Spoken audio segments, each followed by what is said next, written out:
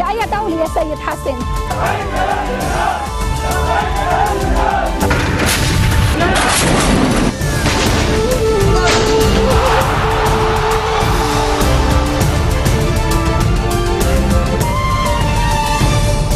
الثالثة بعد الظهر بتوقيت بيروت تتابعون من الميدان من تلفزيون المستقبل في العناوين.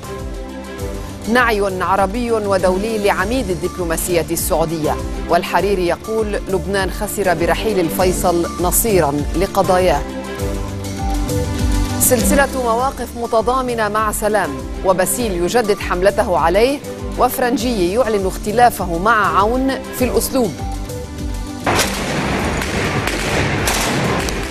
قوات النظام السوري والميليشيات التابعة له تفشل من جديد في اقتحام الزبداني.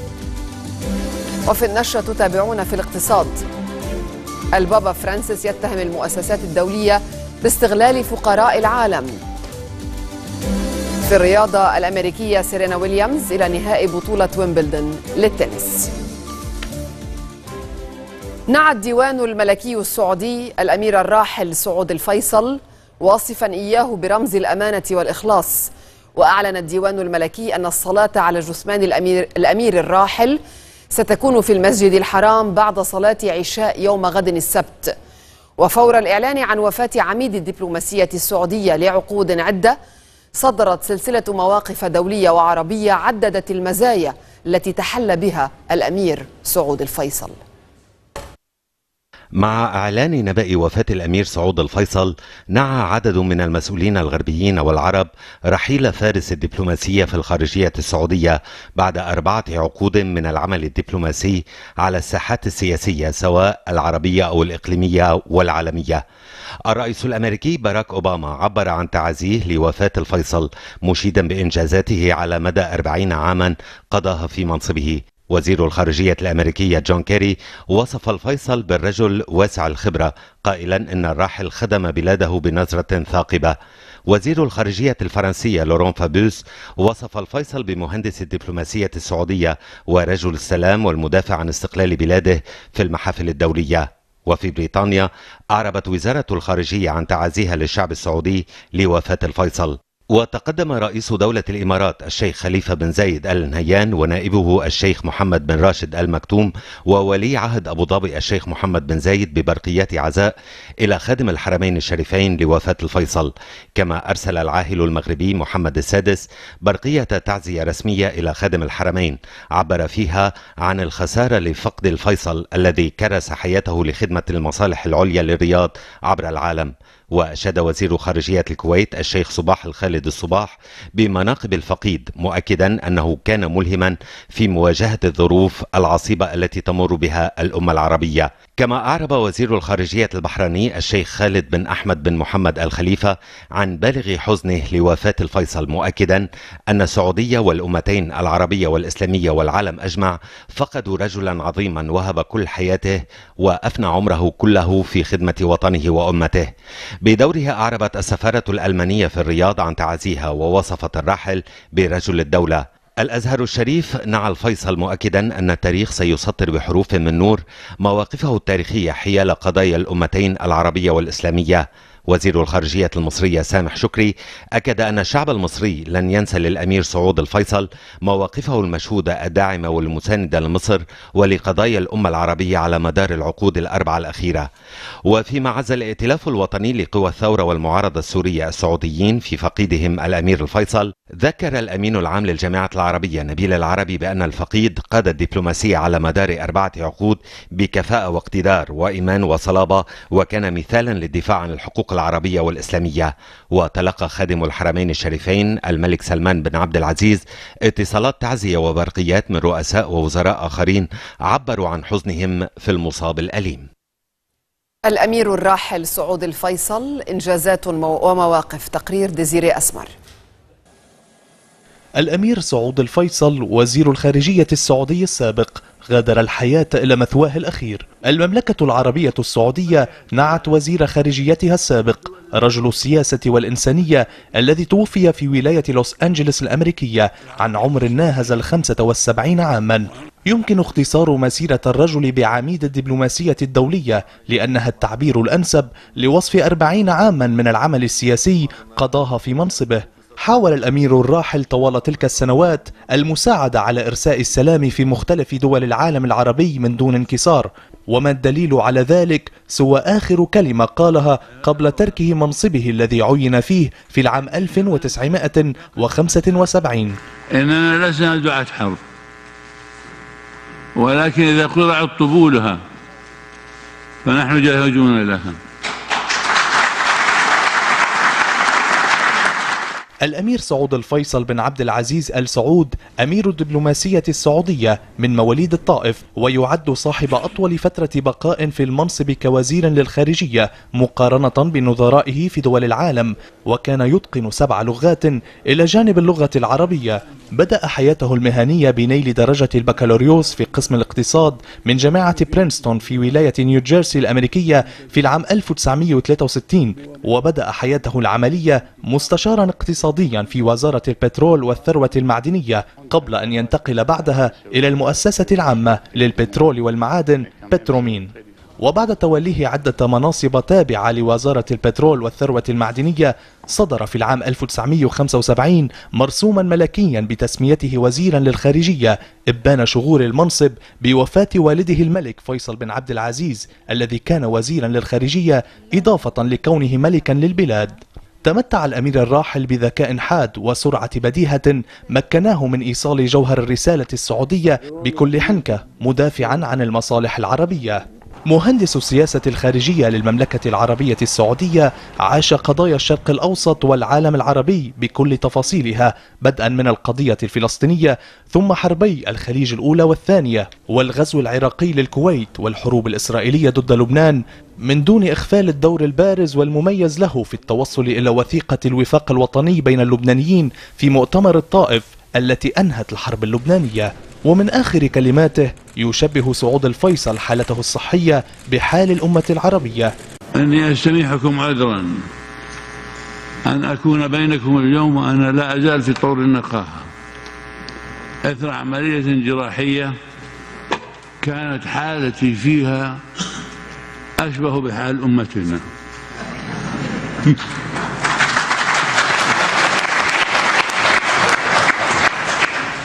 الأمير سعود الفيصل الذي أرهقه مرض باركنسون لم يتخلى عن روح المرح. رحل مخلفا وراءه إرثا سياسيا وثقافيا يتباهى به السعوديون والعالم العربي معهم. في المواقف المحلية قال رئيس مجلس الوزراء تمام سلام إن الأمير سعود الفيصل ترك وراءه سيرة شخصية عطرة وإرثا تاريخيا ثمينا في العمل الدبلوماسي على المستويين العربي والعالمي. أضاف سلام برحيل الأمير سعود الفيصل خسر لبنان صديقا حقيقيا ونصيرا كبيرا. أحبه وعمل دائما لخير اللبنانيين وتعزيز أمنهم واستقرارهم. كما وقف إلى جانب لبنان في الكثير من المحطات الصعبة وساهم مساهمات أساسية في المساعدة على حل أزماته من أبرزها دوره في وضع اتفاق الطائف. الرئيس سعد الحريري نعى الأمير الفيصل وقال في سلسلة تغريدات له عبر موقع تويتر بغياب الأمير سعود الفيصل تنطوي تجربة عريقة من العمل السياسي والدبلوماسي شكلت لسنوات طويلة علامة فارقة للحضور العربي في العلاقات الدولية. وأكد أن لبنان يخسر بغياب الأمير سعود الفيصل نصيرا لقضاياه. وأخا كريما عرفه اللبنانيون مهندسا بارعا من مهندسي الوفاق الوطني في مؤتمر الطائف. رئيس حزب القوات اللبنانية سمير جعجع اعتبر أن لبنان فقد بغياب الفيصل.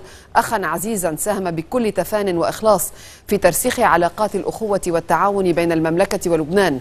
فكيف لنا أن ننسى سعيه لإنهاء الحرب الأهلية اللبنانية فضلا عن انحيازه الدائم إلى جانب لبنان في المحافل العربية والدولية. كما مساندته كل القضايا العربية المحقة في المحافل الدولية لا سيما القضية الفلسطينية. مفتي الجمهورية اللبنانية الشيخ عبد اللطيف دريان قال إن الأمير سعود الفيصل كان شخصية فذة في الدبلوماسية العربية ورجلا محبا للبنان وللبنانيين ومساعدا وداعما لحل الأزمة اللبنانية. نذر نفسه وحياته في خدمة قضايا العرب والمسلمين بحكمته وصبره في معالجة الأمور في المنطقة.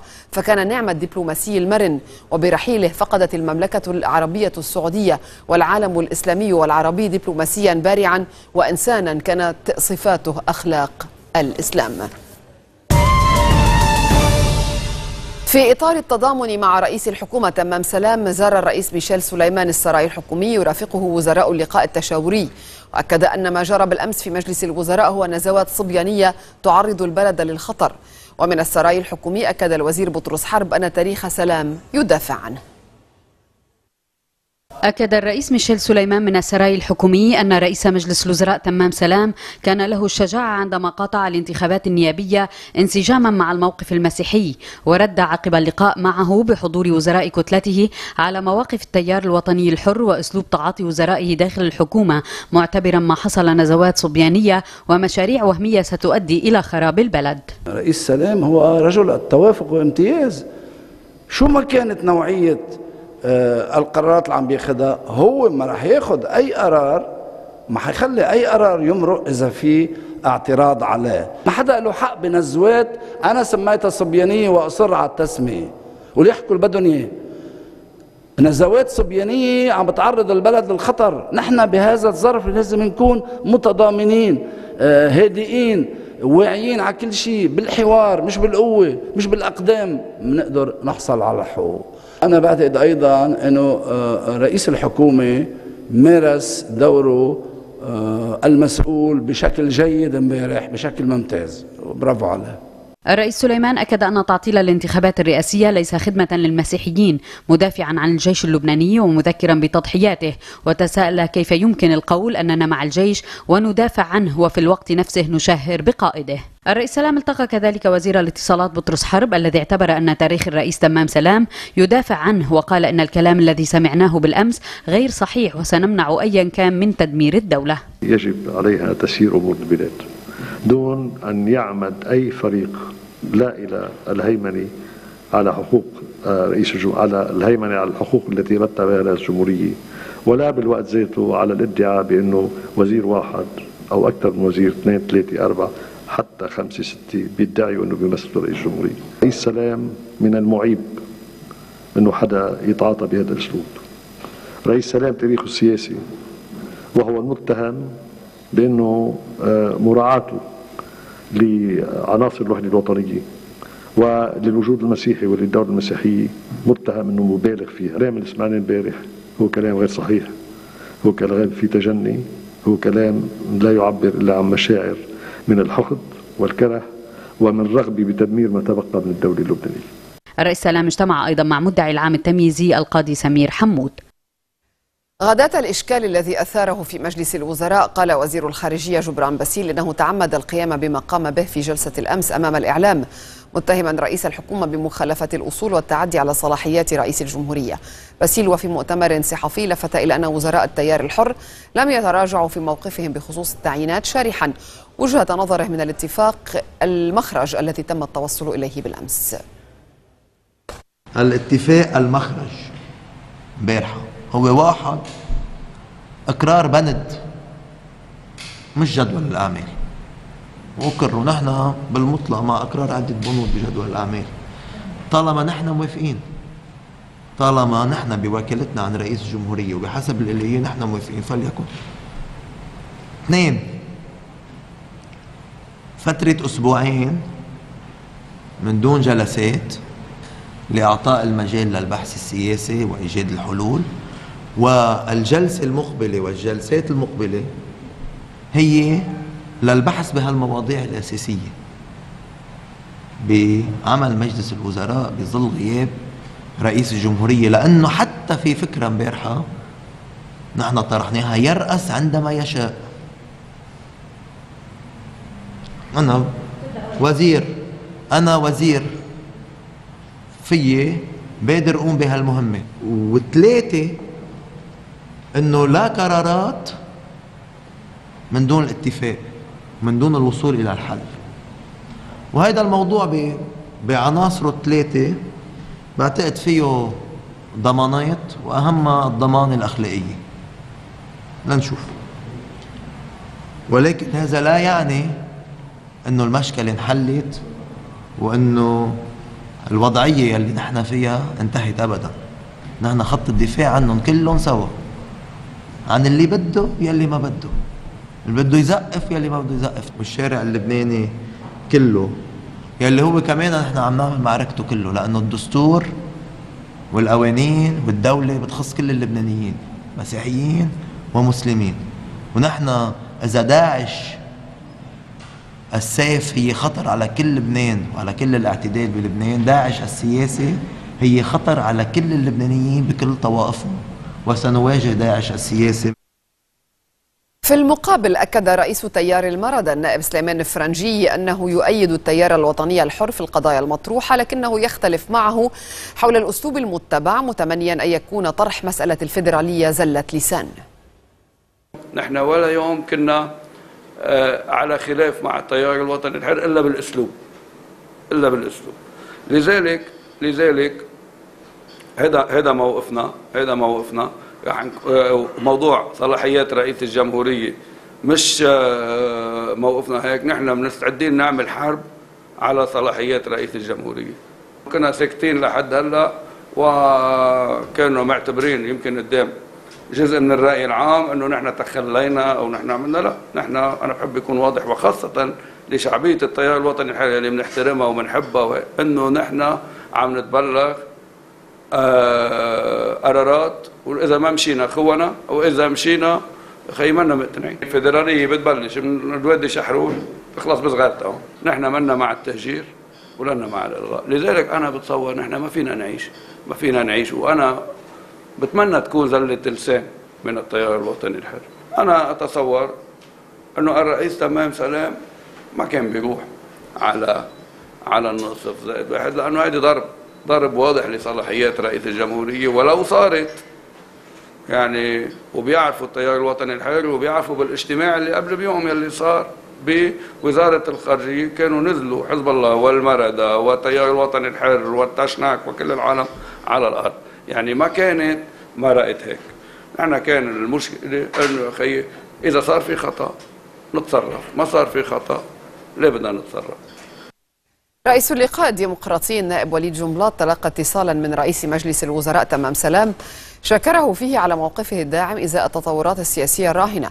وجدد جملات وقوفه ووزيريه إلى جانب الرئيس سلام حفاظا على الحكومة والاستقرار وحفاظا على اتفاق الطائف الذي حدد أصول وآليات العمل. كما أجرى جملات اتصالا بالنائب فرنجي شكره فيه على موقفه الذي يصب في مصلحة حماية الاستقرار ووحدة لبنان. مؤكدا على ضرورة تكثيف التواصل بين مختلف الفرقاء في هذه المرحلة الصعبة التي يمر بها لبنان والمنطقة. الأمانة العامة لقوى الرابع عشر من أذار أكدت على أن الدولة هي الضامن الوحيد للبنانيين. الأمانة العامة التي عقدت اجتماعا استثنائيا لمواكبة التطورات قررت القيام بزيارة تضامنية إلى رئيس الحكومة تمام سلام عصرا يرافقها أعضاء من المجلس الوطني. الدولة اللبنانية هي الضامن الوحيد لجميع اللبنانيين وبأنه ليس هناك من ضمانات أخرى ممكن أن تقدم اليوم حماية اللبنانيين. الدولة اللبنانية هي الضامن حكومة لبنان في ظل الشهور الموجود هي التي تتولى إدارة الشأن الداخلي اللبناني. رفع الشعارات الطائفية من جهة بجر رفع شعارات طائفية من جهة أخرى وهذا نحن ما بدنا إياه ولا يمكن أن نروح بهذا الاتجاه. وزير الدفاع سمير مقبل أبدى رفضه التهجم من قبل وزراء التيار العوني على رئيس الحكومة وأكد بعد زيارته المطران الياس عودي على صلاحيته في اختيار قائد للجيش. إن التهجم الذي حدث من قبل وزراء التيار الوطني الحر على موقع رئاسة مجلس الوزراء أمر غير مقبول. هذا ما أكد عليه وزير الدفاع سمير مقبل بعد لقائه متروبوليت بيروت للروم الأرثوذكس المطران إلياس عودي مقبل لفت إلى أن الديمقراطية الموجودة في الدستور تمنع حصول مثل هكذا أمور في مجلس الوزراء. في اليوم آه، تهجم على مقامات يلي ما لازم كانت تكون. صحيح نحن ببلد ديمقراطي صحيح نحن آه، بعدنا بنحكي لتاريخ الدقيقة هاي بالتوافق وبالاتفاق بس أنا ما شايف لا في لا توافق ولا في اتفاق. بس ما معناتها إنه بعض إنه وزراء تسمح لحالها تتهجم بهالطريقة على رئيس حكومة يلي هو بمركز وبمسؤوليه مثل ما اليوم نحن فيه. مقبل أشار أنه بعد تعذر الاتفاق في مجلس الوزراء على تعيين قائد جديد للجيش فإنه بحسب قانون الدفاع يعود لشخصه بصفته وزيرا للدفاع اختيار وتعيين الشخص المناسب. الأمين العام لتيار المستقبل أحمد الحريري أكد أن من يفرط بدور رئاسة الجمهورية يتحفنا بحرصه على الحقوق. كلام الحريري ورد خلال سحور رمضاني أقامه قطاع المرأة في منسقية طرابلس. أكد الأمين العام لتيار المستقبل أحمد الحريري أن الرئيس سعد الحريري حريص على أن يكون مع تيار المستقبل في موقع الاعتدال لإطفاء كل الفتن التي ما زالوا يعدونها لعاصمة الشمال. كلام الحريري جاء خلال سحور رمضاني أقامه قطاع المرأة في منسقية طرابلس في مطعم دار القمر. حضره النواب سمير الجسر بدر ونوس وقاسم عبد العزيز وعضو المكتب السياسي محمد المراد منسق عام طرابلس مصطفى علوش منسق منسق عام القيت عكار سامر حدارة وعدد من الشخصيات السياسية وأعضاء من منسقية طرابلس وقطاع المرأة. الحريري الذي نقل تحيات الرئيس سعد الحريري إلى أهالي طرابلس جدد التأكيد على ضرورة انتخاب رئيس للجمهورية. نحن بتيار المستقبل عم نقاوم بالسياسة. تنأمن انتخاب رئيس جديد للجمهورية. اليوم قبل بكرة كرمال نحافظ على الموقع المسيحي الأول بكل المنطقة. على عكس البعض اللي عم بيتحفنا بحرصه على الحقوق وهو عم بفرط بدور رئاسة الجمهورية وتعطيله للانتخابات الرئاسية. وشدد الحريري على أن التمسك بالاعتدال في هذه الظروف الصعبة لا يعني القبول أبدا بأي تفريط بحقوق الإنسان وهذا ما تم التعبير عنه من خلال الدعوة لمعاقبة مرتكبي جريمة التعذيب في سجن رومية. جريمة الاعتداء اللي تعرض لها الموقوفين بسجن رومية هي اعتداء علينا مثل ما أكدت كل المحاولات الرخيصة لتقليب الشارع علينا. الأزمة بلبنان مش بين أكثرية وأقلية ولا بين إسلام ومسيحية. الأزمة بين مين بده الدولة ومين بده الدويلة. بين مين بده يحمي البلد ومين بده ينتحر في دفاعا عن بشار الأسد. كما كانت كلمة للنائب السابق مصطفى علوش أشاد فيها بدور المرأة في تيار المستقبل وكلمة لمنسقة قطاع المرأة في طرابلس نبيلة بابته. خلال إفطار في طرابلس أكد وزير العدل أشرف ريفي أنه لا يحق للمتاجرين بالمقامات الدينية أن يحملوا اسم الله فيما حي المفتي مالك الشعار رئيس مجلس الوزراء تمام سلام على مواقفه. مأدبة إفطار تكريمية للمؤسسات الاجتماعية العاملة في طرابلس أقامها وزير العدل أشرف ريفي وعقيلته في منتجع الميرامار. في حضور مفتي طرابلس والشمال الشيخ مالك الشعار ومدراء وطلاب دور الرعاية الاجتماعية. الوزير ريفي أكد أن فجر الحرية بدأ يلوح في الأفق والنصر آت لا محالة. بعيدا عن الدعوات المشبوهة للعنف والتطرف. فلتكن هذه الأيام المباركة استذكارا لروحية هذا الدين وليتوقف المتاجرون بالشعارات المذهبية والمقامات الدينية الحاملين لرايات لا تمت للإسلام بشيء سوى بالاسم أو الشعار عن سلوكياتهم البعيدة كل البعد عن صورة الإسلام كما رسمها لنا جميعا رسولنا, رسولنا الحبيب محمد صلى الله عليه وسلم. من يناصر الظالم لا يمت للإسلام بصلة. من يقاتل حفاظا على كرسي الطاغية فيقتل الأبرياء ويشرد النساء والأطفال. لا يحق له أن يرفع راية تحمل اسم الله. من ناحيته وجه المفتي الشعار تحية إلى رئيس مجلس الوزراء تمام سلام وإلى الوزراء المصرين على استقرار البلد. لا يفوتني على الإطلاق من أن أوجه تحية كبيرة إلى حكومة لبنان. رئيسا ووزراء على مواقفهم وثباتهم أمام التحديات وأمام القلاقل وأمام التجاوزات لأن الحكومة في لبنان بقيت هي الصمام الأخير مع جيشنا الوطني الذي يقوم بالثغر على أمن المواطنين مع سائر القوى الأمنية في هذا الوطن الحبيب كما كانت كلمة لمديرة ميتم الشعراني شكرت فيها ريفي وعقيلته لرعايتهما الطفل اليتيم وتكريمه في شهر رمضان المبارك. عضو المكتب السياسي في تيار المستقبل النائب السابق مصطفى علوش دعا خلال إفطار رمضاني إلى عدم السماح للنائب ميشيل عون باستدراج اللبنانيين إلى ردات فعل ذات طابع طائفي معتبرا أن ما يعطل انتخاب رئيس للجمهورية لا يحق له المطالبة بحقوق المسيحيين. فإن القضية هي أن ميشيل عون ذاته هو من سطى على حقوق المسيحيين والمسلمين معا بإمعانه في تعطيل انتخاب رئيس مسيحي للبنان. وهو من اغتصب حقوق المسيحيين والمسلمين معا بوضع نفسه في خدمة جزار لبنان وسوريا معا. وهو من اغتصب حقوق اللبنانيين بكل طوائفهم بتأييد اعتداء حزب الله على الشعب السوري.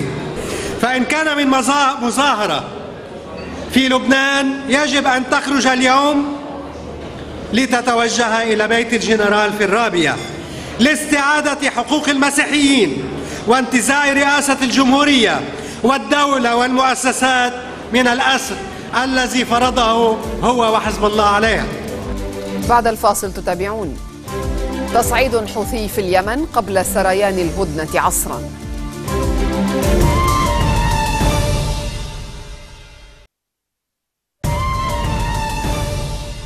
لليوم السابع على التوالي تخضع الزبداني في ريف دمشق إلى قصف بمختلف الأسلحة الثقيلة في محاولة لتدمير المنازل وتهجير الأهالي تمهيدا لاقتحام المدينة من قبل كتائب الأسد وعناصر حزب الله.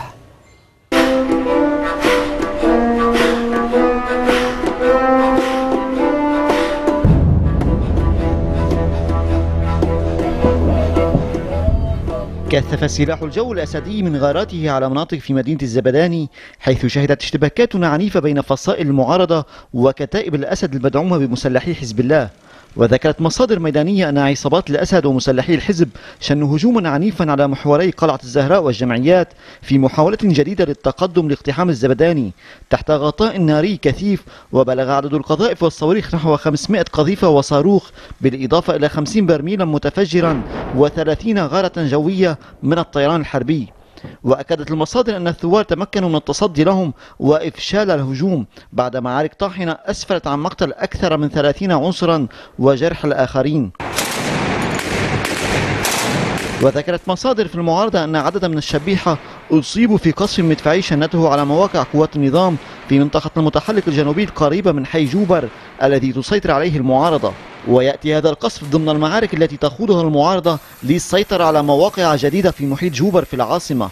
وفي الجنوب شنت طائرات الأسد حملة قصف على الأطراف الغربية لبلدة المزيرب في ريف درعا وعلى مناطق في بلدتي غدير البستان وعين الذكر في القطاع الجنوبي في ريف لقنيطرة وإلى الوسط جددت قوات النظام قصفها على منطقة الحولة في ريف حمص الشمالي فيما أعلن النظام أنه يضيق الخناق على متشددي تنظيم داعش الذي يسيطر على مدينة تدمر في هجوم كبير يهدف إلى استعادة المدينة الأثرية الرومانية من أيدي المتطرفين بعدما سمح لهم بالدخول إليها. أما في إدلب فنفذ الطيران الحربي غارات عدة على معرة النعمان ومحيط مطار أبو الظهور. في وقت استهدفت المعارضة مواقع قوات النظام في منطقة سليمان الحلبي وحيي الخالدية والأشرفية في حلب. شمالا أيضا سيطر مقاتلو تنظيم داعش على كليتي الاقتصاد والهندسة الواقعتين في حي جويران جنوب مدينة الحسكة. تسلم مجلس الأمن مسودة قرار يطالب الأمم المتحدة ومنظمة حظر الأسلحة الكيماوية بتشكيل فريق لتحديد المسؤولين عن شن هجمات كيماوية في سوريا. يدرس مجلس الأمن مسودة قرار تقدمت به الولايات المتحدة تطلب إلى الأمين العام للأمم المتحدة بان كيمون ومنظمة حظر الأسلحة الكيماوية تشكيل فريق من المحققين لتحديد المسؤولين عن شن هجمات كيماوية في سوريا. وكانت واشنطن وزعت مسودة قرار على أعضاء المجلس الخمسة عشر بعد محادثات ثنائية مع موسكو استمرت أكثر من شهرين في شأن سبل تحديد المسؤول عن هذه الهجمات وذلك على أثر تنديد متكرر متكرر من منظمة حظر الأسلحة الكيماوية باستخدام غاز الكلور بطريقة ممنهجة ومتكررة كسلاح في سوريا فيما نفى كل من النظام والمعارضة استخدام الكلور. السفيرة الأمريكية لدى الأمم المتحدة سامنتا باور ونظيرها الروسي لدى مجلس الأمن فيتالي تشوركين تقاطعت مواقفهما على ضرورة توصل مجلس الأمن إلى توافق وإنشاء آلية تحقيق مستقلة لضمان تقديم المسؤولين عن الهجمات الكيماوية للعدالة. وفي هذا المسعى تلحظ مسودة القرار الأمريكي تعاون الأمم المتحدة مع منظمة حظر الأسلحة الكيماوية كي يقدما إلى المجلس في غضون 15 يوما من تبني القرار. توصيات تتعلق بإنشاء آلية تحقيق مشتركة لتحديد بأكبر قدر معقول الأفراد أو الكيانات أو الجماعات أو الحكومات الذين ارتكبوا أو نظموا أو رعوا أو تورطوا بطريقة أخرى في استعمال أسلحة كيماوية في سوريا. ووفقا لمسودة القرار فإن مجلس الأمن سيرد على اقتراح بان في غضون خمسة أيام وبمجرد أن يبدأ فريق مشترك العمل سيكون مطلوبا بأن يطلع المجلس على عمل الفريق مرة كل شهر. بينما سيكون مطلوبا من فريق المحققين إتمام أول تقاريره في غضون 90 يوما. في اليمن صعدت ميليشيات التمرد الحوثي صالح من اعتداءاتها على اليمنيين خصوصا في تعز حيث تردد أن المتمردين ينوون اجتياح المدينة قبيل بدء سريان الهدنة عصر اليوم.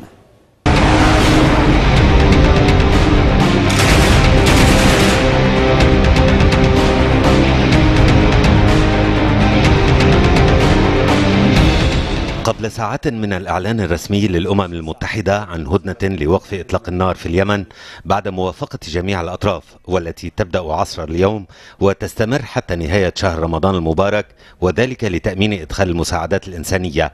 صعدت ميليشيات التمرد الحوثي صالح من اعتداءاتها على المدن اليمنية خصوصا في مدينة تعز حيث أفاد شهود عيان بأن الانقلابيين أغلقوا المدخلين الشرقي والشمالي تماما في وجه المواطنين ومنعوا حركة الدخول إلى المدينة والخروج منها.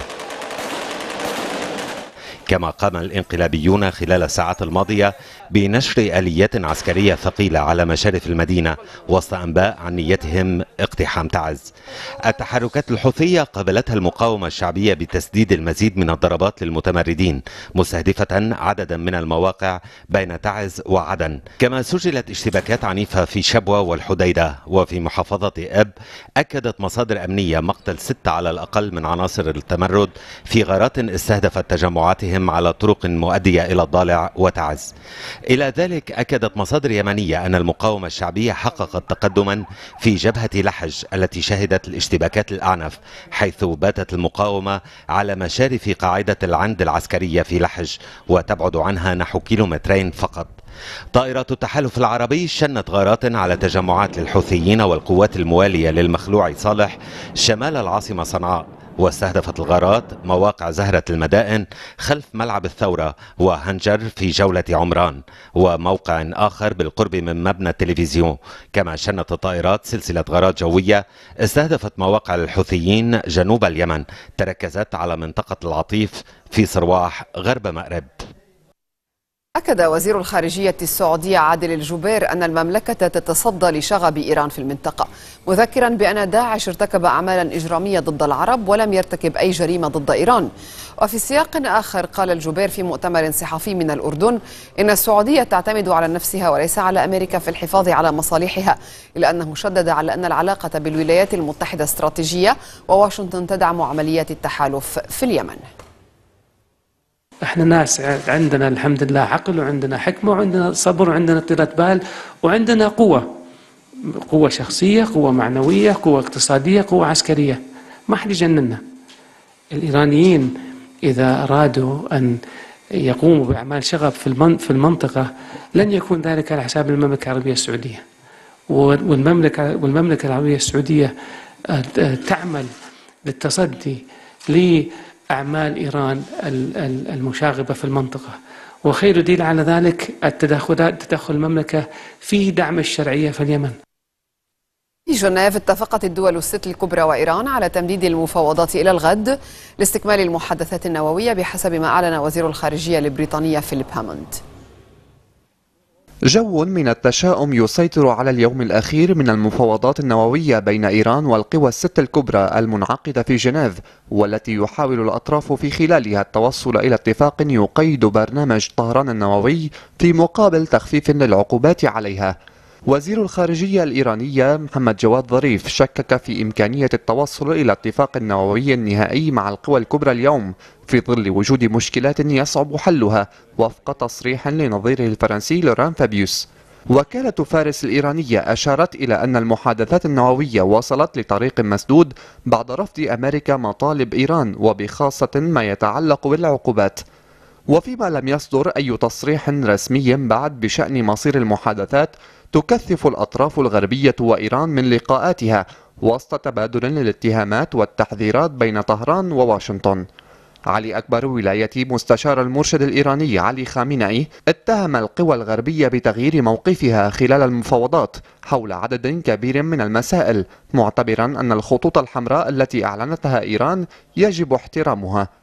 جاء ذلك ردا على تحذير كيري بأنه في حال لم تتخذ قرارات صعبة فبلاده مستعدة تماما لوقف العملية التفاوضية مضيفا أنه لن يبقى على طاولة المفاوضات إلى الأبد رغم أنه لن يتسرع بإبرام اتفاق على عجل.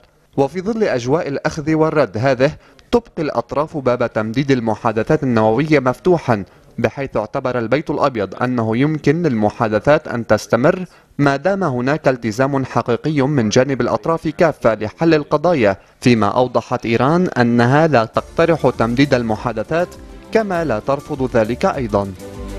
النشرة تتابعون بعد الفاصل. رسالة حياة تضامنا مع الفقراء في الشوارع.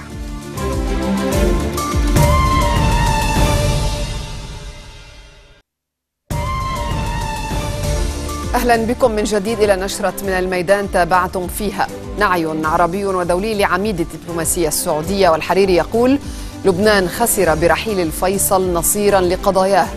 مواقف متضامنة مع سلام وبسيل يجدد حملته عليه وفرنجي يعلن اختلافه مع عون في الأسلوب. قوات النظام السوري والميليشيات التابعة له تفشل في اقتحام الزبداني أعلنت قيادة الجيش توقيف المدعو أمير أحمد منصور في التباني في طرابلس المطلوب لانتمائه إلى أحد التنظيمات الإرهابية كما أوقفت في محلة البحصاص السوري طارق خالد فياض لتجوله بالقرب من أحد مراكز الجيش بصورة مشبوهة.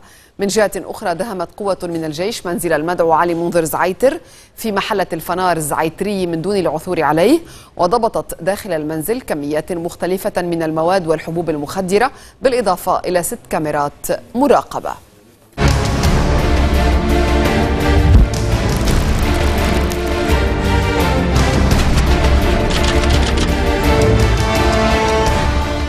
واصلت غرفة الدرجة الأولى بالمحكمة الدولية الخاصة بلبنان الاستماع إلى إفادة المدير السابق لمكتب قناة الجزيرة في بيروت غسان بن جدو الذي أجاب على أسئلة الاستجواب المضاد لفرق الدفاع مشيرا إلى أنه زار المدير العام السابق للأمن العام جميل السيد صبيحة الخامس عشر من شباط 2005 وأنه تحدث معه عن شريط أبو عدس وأنه طلع منه على معلومات أولية عن هذا الشخص. كما تحدث بن جدو عن آلية العمل عادة في القناة وكيفية تحديد الأولوية في نشر الأخبار في حالات كجريمة اغتيال الرئيس الشهيد رفيق الحريري. الدفاع كشف عن اتصالات تلقاها أحد زملاء بن جدو في مكتب الجزيرة من رستم غزالي وهو أمر نفى بن جدو علمه به.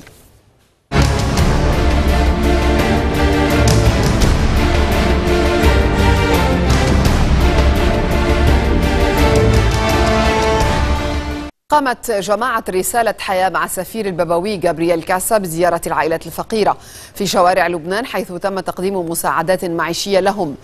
الكلمات شددت على ضرورة نشر السلام والمحبة ومساعدة جميع الفقراء خصوصا الذين يعانون جراء العنف الذي يشهده الشرق الأوسط. الإفطارات رمضانية متواصلة وتشديد على مواجهة الفتنة الطائفية التي يروج لها البعض. أقام رئيس اتحاد بلديات نهر الأسطوان عمر الحايك إفطارا رمضانيا في دارته بالكويخات حضره عدد من الشخصيات السياسية والأمنية وفاعليات المنطقة ورجال الدين. اللقاء كان فرصة للتأكيد على تغليب لغة العقل عوضا عن الطائفية والمذهبية. ارتضينا أن نسكن معه وأن نعيش معه وأن نكون معه في وسط مؤامرة كبيرة عالمية. لتهجير مسيحيي الشرق للأسف الشديد اليوم دولة الرئيس ميشيل عون يجر آه، المسيحيين واللبنانيين إلى المجهول.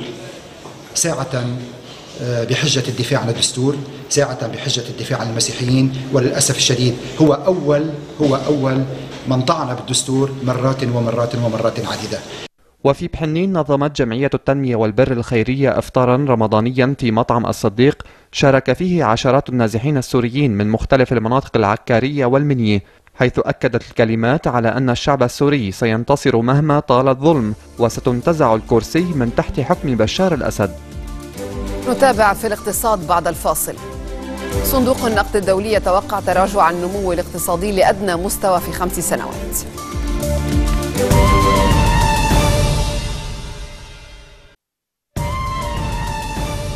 نتابع الاقتصاد مع باسل الخطيب. تفضل باسل. شكرا لينا. أهلا بكم. أكد رئيس الاتحاد الغرف اللبنانية محمد شقير في تصريح أن موقف الحياد الإيجابي الذي يمليه عليه موقعه يحتم عليه الانحياز للقطاعات الإنتاجية التي أمثل والمصلحة العامة للبلاد. وحذر من أن البلاد تقف على أخطر منعطف اقتصادي واجتماعي يهدد البلد وقال إنه موسم الصيف مجددا والسياسة من جديد تضرب حياة الناس واستقرارهم الاجتماعي. وهذه المرة أيضا خدمة لمصالح خاصة وضيقة. ولفت شئير إلى أن الهيئات الاقتصادية مجتمعة نادت السياسيين أن يرأفوا بالبلاد والعباد. وقال اليوم بعد محاولات استخدام الشارع والأقدام نحذر أو الأقدام نحذر مجددا من الاستمرار بالعبث باستقرارنا وبالإسراع بانتخاب رئيس لنعيد بعض الثقة في لبنان. شن البابا فرانسيس الأول هجوما عنيفا على ما سماه استعمارا جديدا تمارسه المؤسسات الاقتصادية الدولية بحق الفقراء في كلمة ألقاها خلال زيارته إلى بوليفيا. وقال البابا إن برامج التقشف التي تقوم المؤسسات الدولية بفرضها على الدول الفقيرة تسعى إلى اختزال هذه الدول واعتبارها مجرد مصادر للمواد الخام الرخيصة والعمالة الرخيصة للدول الثرية داعيا فقراء العالم إلى تغيير النظام الاقتصادي العالمي. وأكد فرانسيس أو البابا فرانسيس على ما وصفه بحقوقهم الاقتصادية المقدسة في السكن والعمل وتملك الأراضي. وجاءت تصريحات البابا خلال مؤتمر هو الثاني من نوعه للحركات الشعبية التي تمثل فقراء العالم. في سياق آخر توقع صندوق النقد الدولي تراجع النمو الاقتصادي العالمي هذه السنة إلى أدنى مستوى له منذ الانكماش في العام 2009 مع بقائه مهددا بتداعيات الأزمة اليونانية. وقال صندوق النقد الدولي في توقعاته الجديدة التي أصدرها يوم أمس إن الاقتصاد العالمي لن يرتفع هذه السنة بأكثر من 3.3 ما يشكل تراجعا بنسبة 0.2 مقارنة مع توقعات شهر نيسان أبريل وتباطؤ مقارنة مع مع نسبة 3.4 التي سجلت في عام 2014 وأكد الصندوق أن الأزمة اليونانية ومخاطر خروج البلاد من منطقة اليورو لم تؤثر كثيرا حتى الآن على سير الاقتصاد العالمي مبقيا على توقعاته بنمو منطقة اليورو. ولفت إلى أن خفض توقعاته للنمو العالمي مرتبط بالواقع بعامل قديم واستثنائي وهو انكماش الاقتصاد الأمريكي في الفصل الأول من السنة بسبب الشتاء القاسي. هذا كل شيء في أخبار الاقتصاد. إلى اللقاء. في الرياضة بعد الفاصل. المكسيك تسحق كوبا في بطولة الكأس الذهبية للكونكاكاف.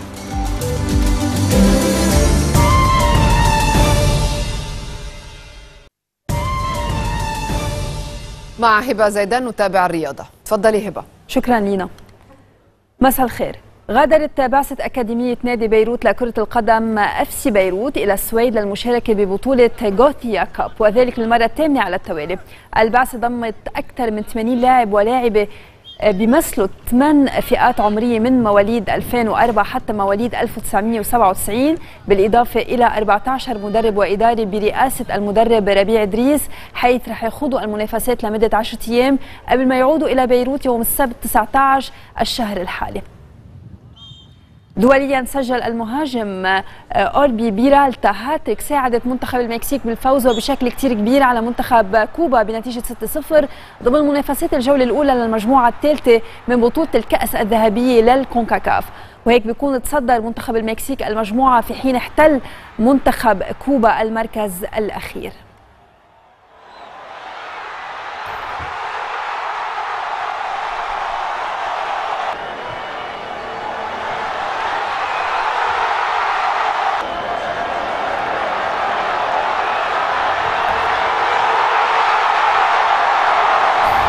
قدم نادي ريال مدريد الإسباني لاعبه الجديد دانيلو بشكل رسمي للجماهير والإعلام بملعبه بسانتياغو برنابيو. وكان اللاعب قد اجرى امبارح الكشف الطبي بإسبانيا بإطار إجراءات انتقاله من نادي بورتو البرتغالي إلى ريال وذلك بعد ما توصل الملكي إلى اتفاق مع بورتو مقابل 32 مليون يورو لانتقال النجم البرازيلي البالغ من العمر 23 عام ويلي وقع وقع للبقاء بصفوف الريال حتى صيف 2021 وبعد تقديمه بشكل رسمي للجماهير المدريدية قال اللاعب اليوم حققت حلم الطفولة وهو اللعب في صفوف ريال مدريد بالطبع هذا أحد أسعد الأيام في حياتي هلا مدريد. بدوره أكد الدولي الويلزي جاريث بيل لاعب وسط فريق ريال مدريد إنه عم يستعد بقوة خلال هالصيف للموسم الجديد وإنه منتظر بلهفة تحقيق نتائج جيدة مع الملكة ومنها الفوز بلقب دوري أبطال أوروبا للمرة ال11 بتاريخ الميرينجي بيل وخلال تغريدة له على حسابه الشخصي على تويتر أكد إنه عم ينتظر بشغف بداية الموسم الموسم الجديد لكي يفوز بأي لقب مع النادي الملكي. استقبل رئيس الوزراء البريطاني ديفيد كاميرون بمقره الحكومة امبارح منتخب سيدات إنجلترا لكرة القدم يلي أحرز الميدالية البرونزية بمونديال السيدات. وكانت اللاعبات قد التقينا أيضا بالأمير ويليامز يلي بيتولى منصب الرئاسة الشرفية للاتحاد الإنجليزي للفوتبول. بذكر إنه هيدي هي المرة الأولى يلي بتفوز فيها إنجلترا على ألمانيا ب 21 مباراة جمعت بيناتهم. وأخيرا بالتنس تأهلت المصنفة الأولى عالميا الامريكي الأمريكية عفوا سيرينا ويليامز إلى نهائي بطولة ويمبلدون بعد تغلبها بنصف النهائي على الروسية ماريا شارابوفا بمجموعتين من دون مقابل وبنتيجة 6 2 و 6 4 ويليامز رح تقابل بالمباراة النهائية اللي رح تقام بكرة السبت بالإسبانية جابرين ميغوروزا بلانكو بفوزها على البولندية أنيسكا رادفانسكا بمجموعتين مقابل مجموعة واحدة وبنتيجة 6 2 3 6 و 6 3 ختام نشرتنا الرياضية. شكرا للمتابعة وإلى اللقاء. يبقى التذكير بالعناوين. نعي عربي ودولي لعميد الدبلوماسية السعودية والحريري يقول لبنان خسر برحيل الفيصل نصيرا لقضاياه. سلسلة مواقف متضامنة مع سلام. وبسيل يجدد حملته عليه وفرنجي يعلن اختلافه مع عون في الأسلوب. قوات النظام السوري والميليشيات التابعة له تفشل من جديد في اقتحام مدينة الزبداني. في الاقتصاد البابا فرانسيس يتهم المؤسسات الدولية باستغلال فقراء العالم. وفي الرياضة تابعتم الأمريكية سيرينا ويليامز إلى نهائي بطولة ويمبلدون للتنس. نهاية النشرة. شكرا لكم.